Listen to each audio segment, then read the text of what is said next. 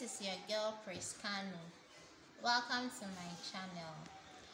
So today I'll not be performing any practical. Today one of my video directors, Efo Felix. Efo Felix is going to tell us how to use the rotary evaporator. He's working on something and he's going to use the rotary evaporator. So as you can see, I'm the only person standing here. So I'll walk towards him to tell us what he's doing in the lab. So let's go. Bamnos. Okay, so I'm walking towards Efo for Efo to tell us what he's doing today. Alright, so Efo Felix, Yes, you are welcome to my channel. thank you. Okay, so you see he's busy draining something. So he will tell us about what he's doing in the lab. And I'll tell him to remove the nose, na- nose mask so that my my fans can see his face. Okay? So this is if oh if come on look inside the camera. so this is Efo Felix, the popular Efo. See Efo Solo is laughing. We send the camera to him so that everybody will see Efo Solo. So Efo Felix, please tell us what are you doing? All right, I'm working on a fungal extracts. Okay. Now, I have gotten, I'm separating the organic layer from the uh, aqueous layer. Okay. So the, I've gotten the organic layer over here, but it contains a whole lot of solvents. So I want to concentrate it as removing some of the solvents Okay. in order to get a concentrated sample that I will work on. Okay. In doing this, we use the rotary evaporator, which we basically look use the distillation principle. So first we have to connect it using the clip to hold it this way. Now the water is heating at a temperature of 80 degrees Celsius just because the solvent is ethyl acetate having a boiling point a little above uh, 77. So the principle here is if it boils, the vapor then passes through the tube to this place. This is a condenser. There's water running through it from the tap. So the vapor gets cooled up and condenses and is collected over here. So the pure ethyl acetate is collected over here. So I have my solvent back and I have my concentrate over here. So I put it at a resolution at, of 6 on it and begin to rotate. That's why we call it the rotary evaporator. It's rotating so that we have even distribution of the heat. So I allow it to rotate. It goes with time. You will see the vapor condensing and then we have our ethyl acetate back with our concentrate also.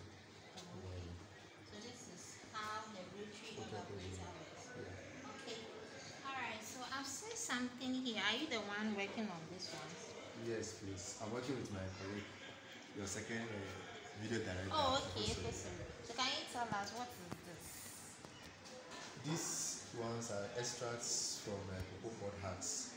Cocoa pod hearts. Oh, okay. We are, it's believed, the research has proven that it contains some terpenes and phenolic compounds. Okay. So we want to extract it. So after the maceration, that is soaking it for some weeks. Now we are extracting the active ingredient, the compounds from it. We now determine the compounds in it later. Okay, I can see that you've covered it with cotton. Why? Why do you cover it with cotton? just to prevent uh, foreign material from entering and also to also allow for the escape of some of the solvents so that we have more concentrated samples. Oh, okay. So as you could see, you see one like this, we now have a, a concentrated one Okay. which looks oily. Yes. So this is our proof sample, so it's not even pure. not pure, Okay. it's a proof sample Okay. which we use for analysis. Analysis. Yeah. So you don't you don't purify it before using it for analysis. You use the crude. It depends on what you are doing. Okay. in this case since we don't have all the machineries and we don't have the time for the uh, purification we want to first look for the components in there Okay. then we look for the best way of crystallizing it. The idea of which compound is in there will help us get which of the solvent that we can use to crystallize it. Alright.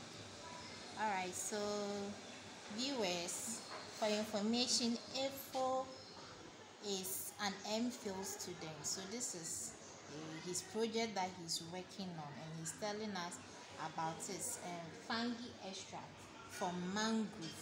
Those who don't know mangrove, mangrove is a type of a plant that is normally grown um, at the seashore or something or a river. saline, the saline Okay, waters. yes. So Those are got the- all the this. lagoons and the estuaries. Yes, that's where you find the mangrove. So you got the fungal extract from the mangrove.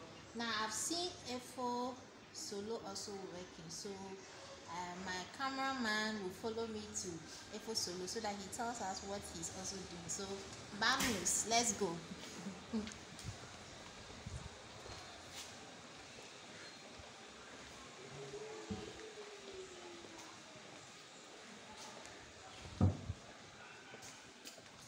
So hi, Efo Solo. This is Efo Solo, one of my video directors. So Efo Solo will tell us what he's doing here. He's busy doing something and I don't know. He's also an MPhil student. So Efo Solo, what are you doing?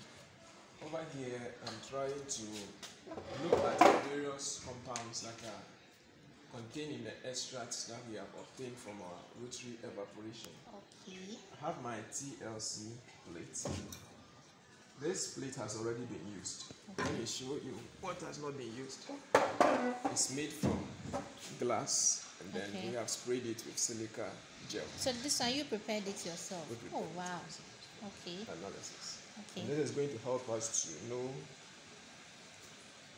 the compounds that are present in our extracts Okay. So this is an example of an extract that has been analyzed. Oh, okay.